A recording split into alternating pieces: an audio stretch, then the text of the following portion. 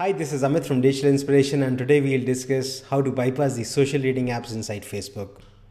Now, you know that Facebook supports frictionless sharing, so if you read an article or watch a video on the internet, that activity may sometimes show up in the newsfeed of your Facebook friends.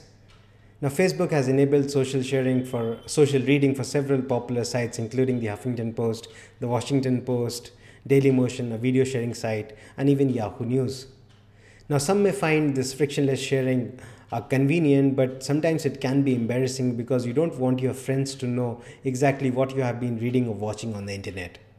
So in today's episode, we'll look at, we'll explore the different ways in which you can bypass and prevent your activity from showing up in the newsfeed of your Facebook friends.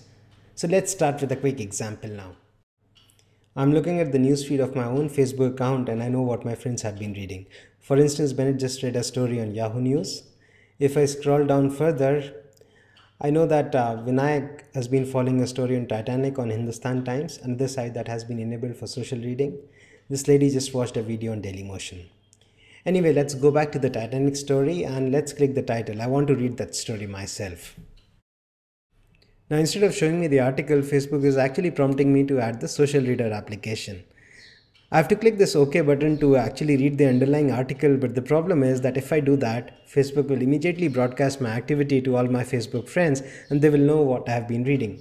I don't want this to happen, so I'll click the cancel button and I can read the article without having to add that application to my Facebook account. The problem is that this cancel option is not available for all Facebook social reading apps. For instance, if we go to our Yahoo story, there is no cancel option. You can either click close, but you won't be able to read the story. If you click OK, Facebook will broadcast the story. So workaround is that you go to the app's privacy and change the visibility from friends to only me. Now you can click OK without any problems because Facebook won't broadcast your activity to any of your friends' newsfeed. That's it. Enjoy.